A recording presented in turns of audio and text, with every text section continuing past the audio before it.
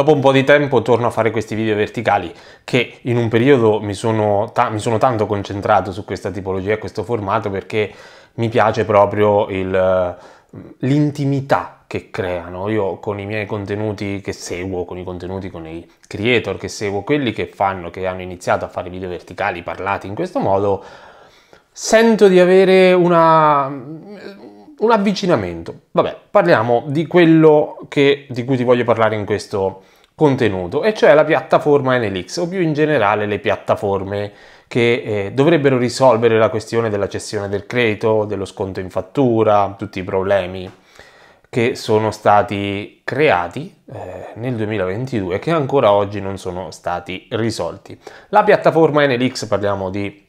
questa piattaforma che da inizio 2023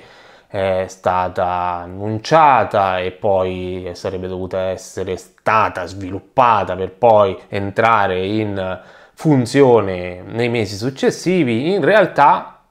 eh, l'obiettivo era quello di risolvere tutti i problemi. Sembrava che i problemi del mancato, eh, della mancata riapertura del mercato della cessione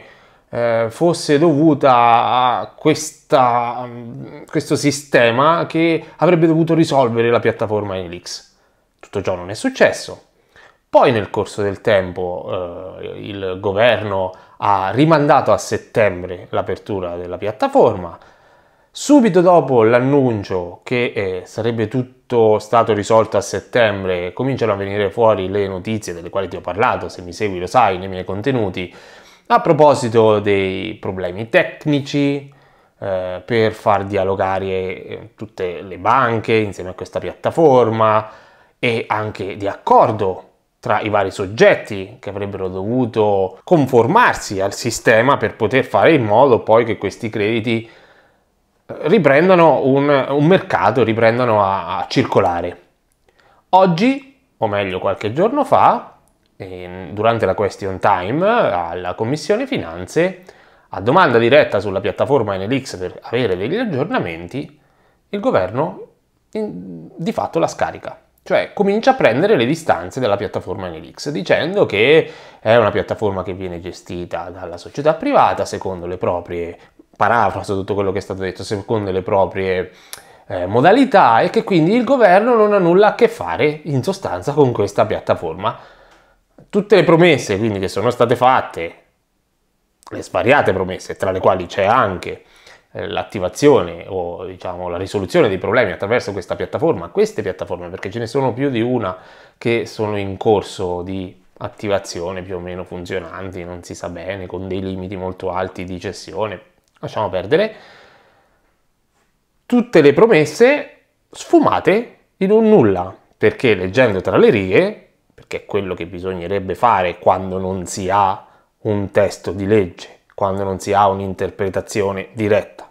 Quando si hanno delle dichiarazioni, quando si legge eh, si leggono delle risposte, si leggono degli annunci, si ascoltano degli annunci, bisogna leggere tra le righe, bisogna eh, confrontare con ciò che è successo fino ad allora, ciò che era stato detto e come era stato detto fino ad allora e come è cambiato. Leggere tra le righe il tono, le parole, anche dovesse arrivare a settembre, che già comunque sarebbe tardi, e anche dovesse iniziare a funzionare da subito, e sarebbe comunque tardi, non c'è nessuna certezza che questo avvenga. Nessuna certezza. Anzi, il fatto che venga prima annunciata, poi spostata a settembre, poi adesso cominciano a prendere le distanze, fa sempre, lascia sempre più pensare che questa piattaforma morirà in un nulla Magari mi sbaglio, chi lo sa, magari sarà effettivamente la risoluzione di tutti i mali della cessione del credito e dei crediti incagliati, ma purtroppo ad oggi la mia sensazione è questa. Con questo ho concluso, volevo solo trasmettere questo breve pensiero che eh, si adattava perfettamente a questo formato verticale che tanto apprezzo. Grazie di essere arrivato fin qui, come sempre ti ricordo che i miei contenuti eh, sono realizzabili grazie agli abbonamenti, un sistema di abbonamenti che ti permette di accedere a contenuti esclusivi, ad accedere a domande, risposte, alla possibilità di farmi delle domande e tutti i contenuti pubblici posso dedicare, studiare ore e ore durante la settimana proprio grazie agli abbonati. Quindi innanzitutto grazie agli abbonati e se vuoi sostenere il lavoro che faccio, in descrizione trovi un link a Patreon o abbonandoti su YouTube. Ti ringrazio, ci vediamo al prossimo contenuto.